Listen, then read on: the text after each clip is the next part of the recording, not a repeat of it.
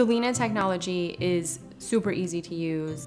You can see right on it when it's recording, the time starts running, it tells you if it's paused. When Henry wakes up, I turn the LENA on and you basically just put it into the little pocket and then you go about your day as you would any other any other day.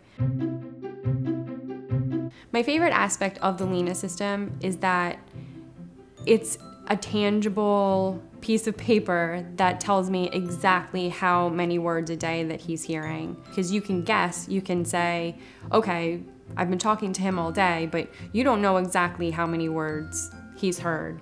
Um, and is he hearing things effectively? I worry sometimes when we're at the mall or we're at a party or you know, we're at the grocery store or if there's a place that has too much of an echo. I feel like the LENA is a voice for him and it does give us feedback that he can't give right now. The other great thing that we love about the LENA is that it's able to tell us if Henry is on par with other kids his age. So, as far as babbling goes, it can measure how he's speaking back to us. So, is he having a conversation back and forth? Um, when we say hi, is he babbling back to us? So, it's nice to kind of see because that is something that you worry about as a parent that has, you know, a child with a hearing loss.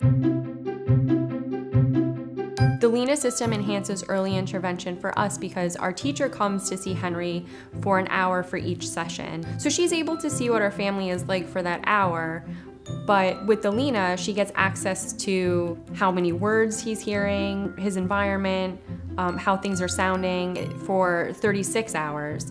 It's just nice that they're able to use the LENA to come up with different interventions that they wouldn't be able to come up with without it because they wouldn't have the data and the information without the LENA. The LENA is really able to give you a different kind of perspective and then our teacher is able to come in and give us the tools that we need to fix it. We're just grateful to have a teacher and a program that is progressive and cares about having technology like this to help us do the best that we can for our son. The best thing about it is that it doesn't bother him. He doesn't know that he's wearing it. So he gets to play, he gets to crawl, he gets to roll around, and he doesn't even know that it's there. He just gets to be a baby.